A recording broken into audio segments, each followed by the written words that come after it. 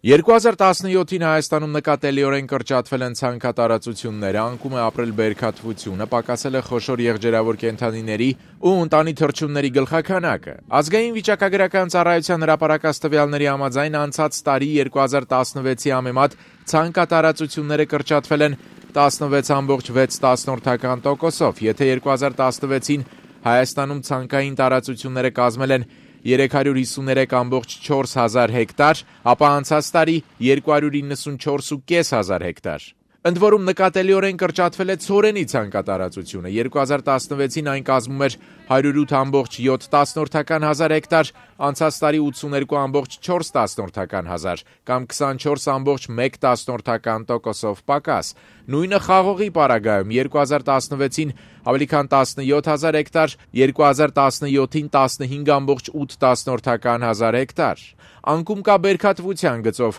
Օրինակ նույն ցորենի պարագայում, եթե 2016-ին 1 հեկտարից ստացել են 32.4 ցենտներ ցորեն, ապա անցած տարի զգալիորեն քիչ 21.8 ցենտներ։ Անցած տարի խոշոր եղջերավոր կենթանիների գլխականակը հայաստանյան գյուղատնտեսությունում կրճատվել ավելի քան 45 հազարով, 2016-ին 701.5 հազարից 2017-ին այդ թիվը դարձել է 655.7 հազար կամ 6.5 տոկոսով պակաս։ Անցած տարի 2016-ի համեմատ անկում է ապրել նաև ոչխարների ու այծերի, ինչպես նաև ընտանի թռչունների գլխականակը, համապատասխանաբար 6.5 տոկոսով եւ 3.2 տոկոսով։ Որպես այս ամեն ընդհանրացնող թիվ նշենք, որ անցած տարի 2016-ի համեմատ գյուղ ոլորտում անկումը կազմեց 3 տոկոս։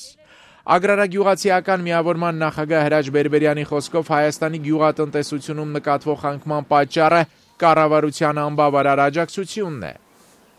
Դա չնչին է, եթե համատում եք ռուսական ֆերմերին, հայկական ֆերմերին, որը որ իր արտադրանքի մոտ 40%-ը սուբսիդա ինքնարժեքի, սուբսիդավորվում է։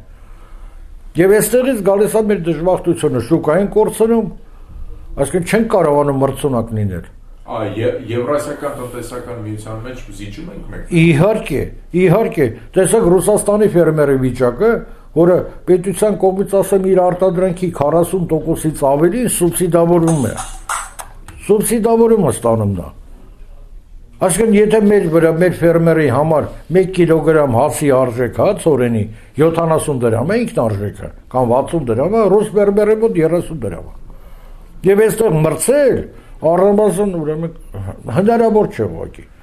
Գյուղ ոլորտին հատկացվող աջակցությանը կառավարությունում անդրադարձան հենց նախորդ նիստում։ Լրագրողների հետ հանդիպմանը գյուղատնտեսության փոխնախարար Ռոբերտ Մակարյանը մանրամասնեց. այս տարի եւս սուբսիդավորվելու են պարարտանյութը եւ դիզվառելիքը կտրամադրվի 360 միլիոն դրամ,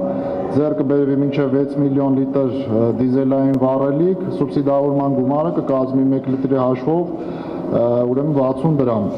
կտրամադրվի մինչև 3 հեկտար հողատարածք ունեցող հողօգտագործողներին 1 լիտրի համար մինչև 200 լիտր չափաբաժնով։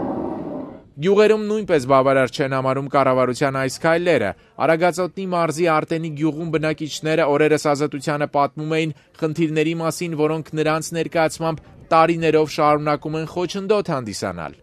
Կանալի տագի 50% հողերը չեն մշակում մարդիկ։ Սուտ է։